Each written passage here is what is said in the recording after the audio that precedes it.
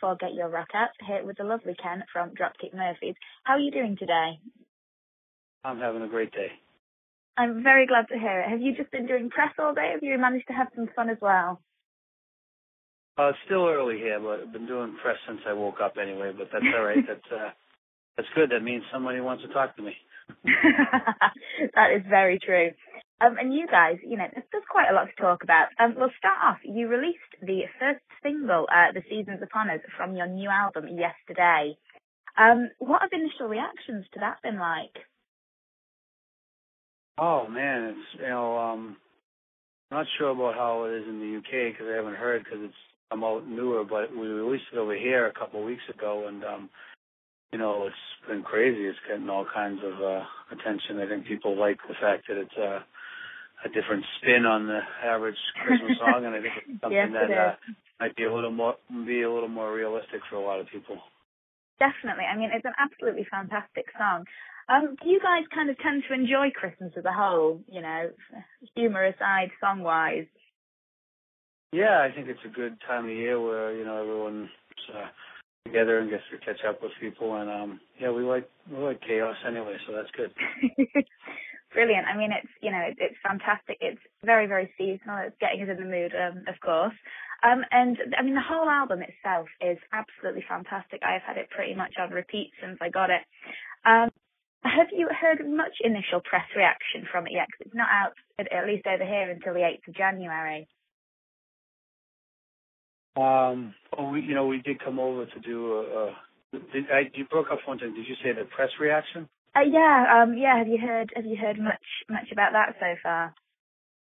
Um, yeah, I mean, it's all been good. We came, you know, we went over and did a, a full um, European um, press tour, and we came to London, and um, you know, the interviews are all great, and people seem excited. I know, I don't know what they'll write when we're gone, but uh, to uh, seem to really like the album, and uh, you know, I think that's um, yeah, that's a great sign. I mean, you know, sometimes some albums are the type I think that gets you right away, and some albums maybe you have to grow on people more, and I think this is one of those records that uh, catches you. You know, you, the song, the chorus is a catchy and, and repetitive, so you can sing along with the Definitely. second chorus in some of the songs. So that's that makes it easier for people to wrap their head around it after one or two listens. You know.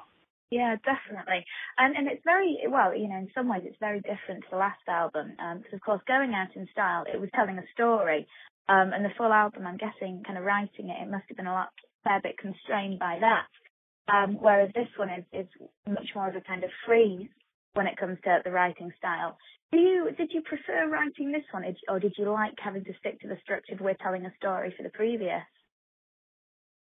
Uh, no, the last album was definitely the harder road to take, and you know, you're taking on two mediums and, and music and literature, and to combine yeah. them is a challenge. But, but like anything, when you take the tougher road, you come out the other side, um, you know, better at what you do. And I think that it made us better songwriters.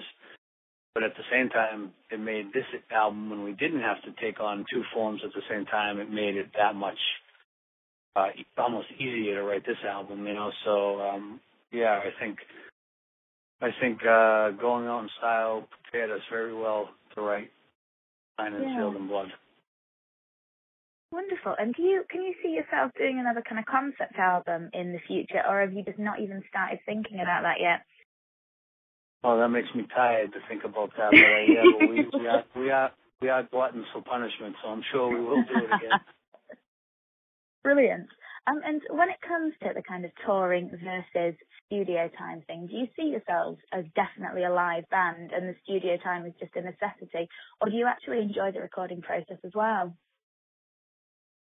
Um, definitely a live band, but we're learning to enjoy the studio part. I mean, the studio part. We worked with producer Ted Hutt on the last two records, and you know he's taken off a lot of that pressure of just like, you know, I'd be the guy that's trying to write songs and be like, do we have all the tracks recorded? Where's that? You know, just like almost the logistical and and to not have to like to know that someone else is taking care of that, and and it's hard for us to find someone we trust to take care of something that important, but he has Yeah. won our trust over and then some. So it's it's nice we can focus more on you know writing and recording as opposed to you know who you know, did you book the studio time? What you know, all the just all the little yeah. crap that people probably wouldn't think about when they think about a record, but it really can, you know, interfere with the creative process, you know.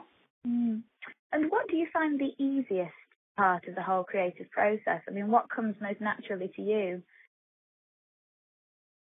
Um, for me, writing songs, you know what I mean. I don't, I often don't labor that hard on it. I like, I'll have nothing, nothing, nothing, and then all of a sudden, freaking song will pop on. You know, some of the best songs I've ever wrote were in two minutes. You know what I mean? Just wow. I might, I might have had to wait two years for it to come around, but it just kind of spill out when it's time to come. So, um, but every everyone's a little different, you know. But I think over the years, some of the ones looking back that I'm most proud of, I would say, came out like that, you know. Yeah. And so if you had to, I know it's an impossible question to ask, but if you had to pick the song that you think just defined everything you loved about what you do, what would that be for you? Oh boy. Uh I'm I'm gonna, I'm gonna cheat and give two answers. Musically, I would musically I would say Rose Tattoo from the new album because it's like you know, people seem to like find the lyrics meaningful, and I think that's yeah. important that like that people are, are kind of grasped by the song's meanings. Uh, musically, it's kind of diverse, but yet still us, you know. Yeah. If I, but then if I had to stand the course of time, I always say "Boys on the Docks" because that's a song off our first album. That's about my grandfather, and the crowd always sings the big breakdown part, and you know my grandfather's wife is still alive, my grandmother, wow. and she's been there at the shows when the crowd's all singing it, and it's, you know, those are the type of things that wow. are, uh, are, are invaluable and unreplaceable, irreplaceable, you know. No, completely and utterly. It's, I mean, it must be utterly incredible to be able to watch people, you know, singing along to something that's, that's so personal as well. Yeah, it's awesome too. um, and also, you guys, you have been encouraging fans to tattoo themselves with the new album cover logo. Um, and you know, you're planning on featuring that when the album comes out. What kind of a response have you had to that? Well, I mean, you know, we see we've seen so many band tattoos, uh, yeah. you know, of our logos over the years, and when, when when we finished the artwork for this, we just said, "Oh, this is going to be one that a lot of people will get tattooed." So, um, you know, when we released the artwork, um, in five days we had over a hundred tattoo submissions. So, um, because we were for the first time ever in our life early with the artwork, you know, ahead of schedule, we were able to give people. So we basically said, if you want to be in the album art, you know, and you you would get this tattooed, um, go ahead and do it. So it's cool. It's kind of a backwards thing that actually before the album even out, wow. people have the logo tattooed. that just shows that people have faith that we're gonna, you know, deliver something that they like. Obviously, I mean, if we made a, you know, a rap record, uh, now just tattoo that logo on their arm, you know. you should release like a, a fake album just so I don't know, like four hours or so, just a truly terrible thing, just to just that to scare be people. very that was a very cruel, cruel joke. It would, but I think it'd be worth you're it. an evil woman to even think that. Obviously, so I I think it'd be worth it. It would uh, it would definitely. I mean, think of all the kind of publicity you get from it. It would just be invaluable. But people might hate you for quite a long time. I got to keep you away from my manager. Brilliant. And you guys, you're doing a massive tour next year as well. And, uh, you know, I know I, for one, I'm hugely looking forward to catching you back in the UK. Um, so, yeah, looking forward to that. Have you got anywhere that you're really thinking, you know, this is going to be the show that we are looking forward to more than anything? You know, a country, um, a city? Um, I would just, I would say overall, just the UK in general, that it's been a little bit, We've kind of backed off a little from going there quite as much, just because we, we tend to do that throughout our, our career. You know, when you, say when you've you know, toured in a place two or three years in a row, you know, take a few years back and it kind of builds up the um, excitement again, and Yeah. be kind of starting the touring cycle of an album in a, in a country that's been great to us.